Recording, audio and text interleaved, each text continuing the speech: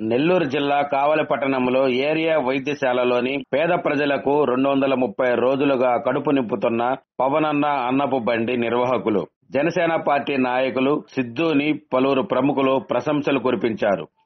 ఈ కార్యక్రమంలో భాగంగా జిల్లా దళిత సంఘర్షణ సమితి అధ్యక్షుడు ఎస్ మల్లి మాట్లాడుతూ పేద ప్రజల కడుపు నింపుతున్న సిద్ధుని అభినందిస్తున్నానని అలాగే ఎంతో మంది పేద ప్రజలకు భోజన సదుపాయం చేసేలా సిద్ధు అభివృద్ధి చెందాలని మల్లి మీడియాకు ఈ విధంగా తెలిపారు.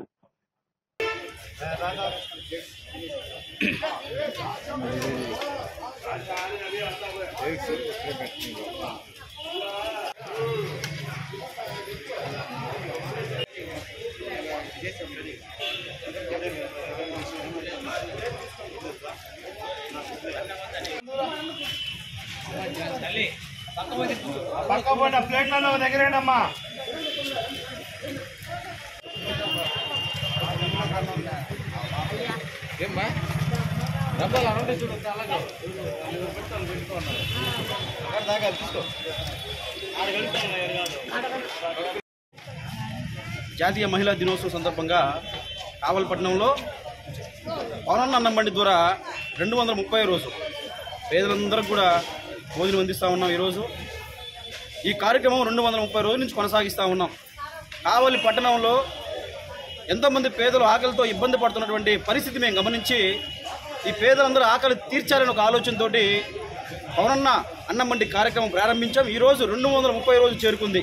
ముఖ్యంగా ఈ కార్యక్రమం కూడా ఈరోజు మహిళా దినోత్సవం జాతీయ మహిళా దినోత్సవం సందర్భంగా పేదలందరూ కూడా భోజనం అందించాము. రాబోయే రోజుల్లో కూడా ఈ కార్యక్రమాన్ని ఇలాగే కొనసాగించి ఇంకా ఎక్కువ మంది పేదలకు భోజనం అందిస్తామని ఈ సందర్భంగా తెలియజేస్తా ఉన్నాం. మా యొక్క ముఖ్య ఉద్దేశంలో ఒకటే ప్రతి పేదవాడి కడుపు నింపాలి. ఏ పేదవాడు కూడా ఆకలితో ఇబ్బంది పడకూడదు.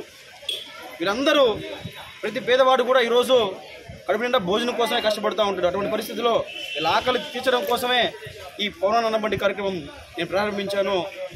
ఎలాంటి ఇబ్బంది వచ్చినా కూడా ఈరోజు మనం ఒకరోజు భోజనం పెట్టాలంటే ఎన్ని ఇబ్బందులు ఎదుర్కొంటామో తెలిసిన పరిస్థితి. కానీ రెండు వందల ముప్పై రోజులుగా ఒక్క రోజు కూడా ఈ కార్యక్రమాన్ని ఆపకుండా ప్రతి పేదవాడికి కడుపునిండా భోజనం అందిస్తూ ఉన్నాం.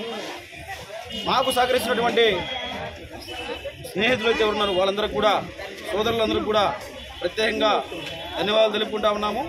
జై హింద్.